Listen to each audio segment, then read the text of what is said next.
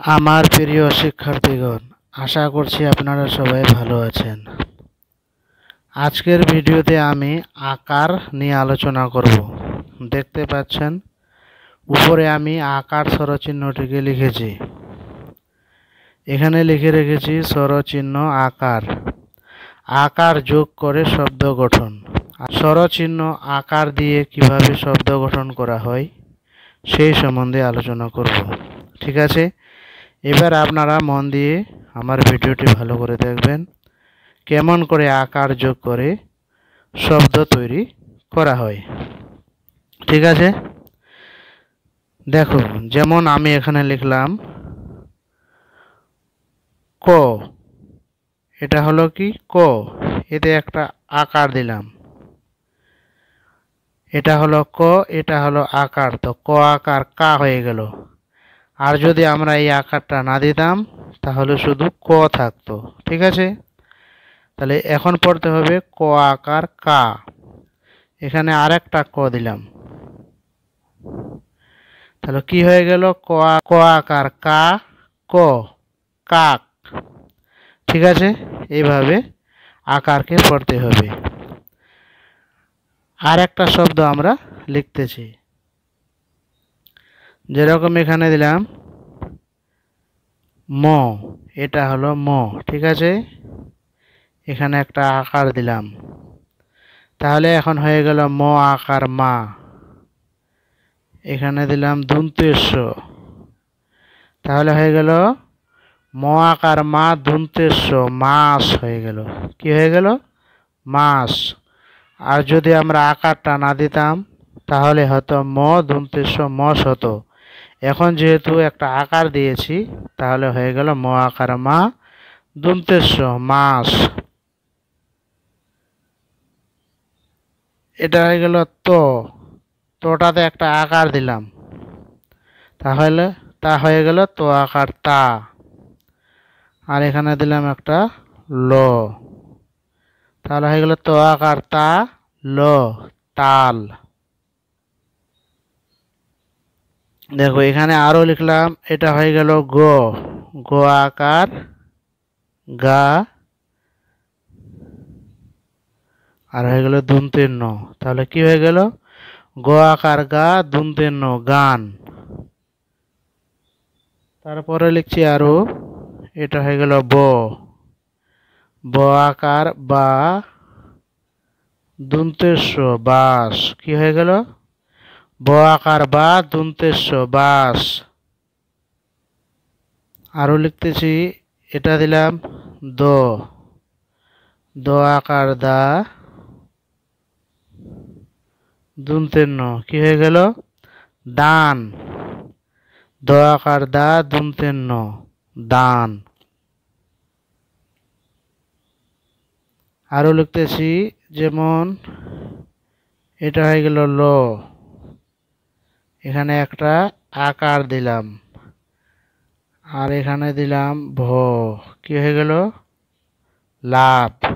ল আকার লা ভ। লাভ হয়ে গেল। ঠিক আছে? এবারে লিখতেছি আমরা।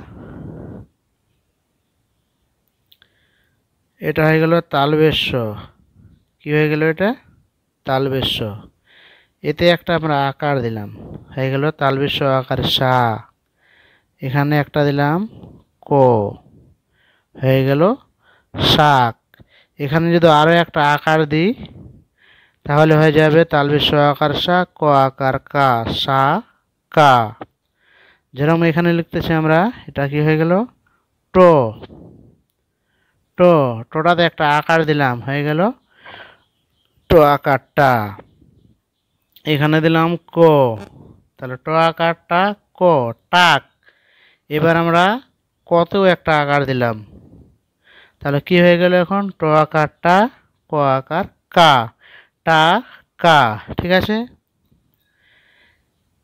এবার আমরা লিখছি এখানে চ। এটা কি হয়ে গেল? চ। চতে একটা আকার দিলাম। কি হবে? চ আকার চা। এখানে দিলাম একটা ক। তাহলে কি হয়ে গেল? চ আকার চা, ক, চাক। চ আকার চা, ক চাক। এখানে একটা আকার দিলাম।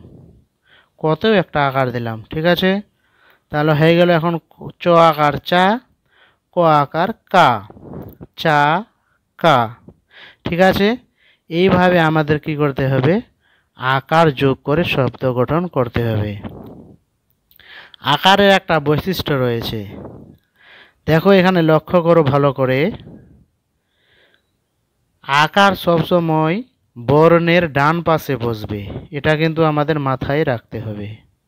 যদি আমরা আকারটাকে বাঁ পাশে লিখি, তাহলে ভুল হয়ে যাবে। তাহলে আমাদের মনে রাখতে হবে, স্বরচিহ্ন আকারটি সব সময় যে কোনো বর্ণের ডান পাশে বসবে। দেখো এখানে, কয়ের ডান পাশ হলো এই দিকে না এইদিকে কয়ের ডান পাশ হলো এই দিকে। তাহলে কি?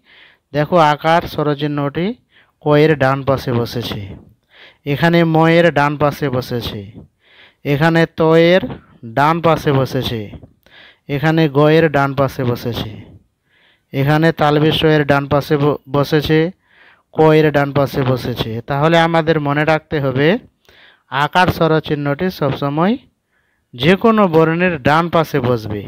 এই কথাটা আমাদের মনে রাখতে হবে। দেখো, এখানে আকার যোগ করে আমি কয়েকটি শব্দ লিখে রেখেছি।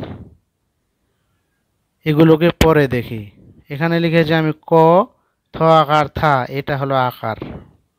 আকার সবসময় লম্বা হয়।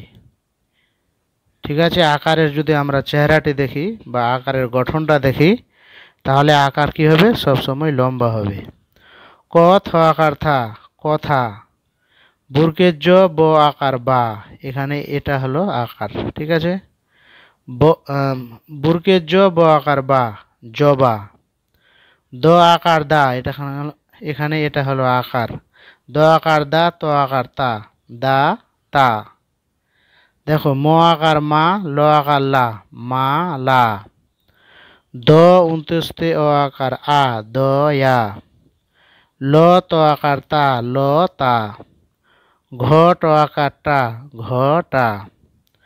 আকার তা র রা তারা ভ ভা পেট কাটা মধ্যাহ্ন স আকার সা ভাষা দুন্তেশ ভ আকার ভা স ভা তালবে স আকার সা ক্ষয় আকার খা সা খা র আকার রা পুরকে জ আকার যা রা যা ক আকার কা র মধ্যাহ্ন কারণ ক আকার কা র কার মধ্যাহ্ন, কারণ ক আকার কা প আকার পা, কা পা দুন্তেশ্ব কা পাস।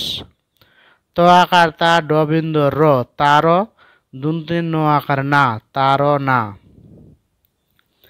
ব আকার বা ল ক, বালক। ব আকার বা ল ক, বালক। ভ আকার ভা, ব দুন্তীর্ণ আকার না ভাবনা ভ আকার ভা, ব, দুনতে ন আকার, না, ভাবনা। ক, প আকার পা, ক, প আকার পা কপা ট, কপাট। ঠিক আছে?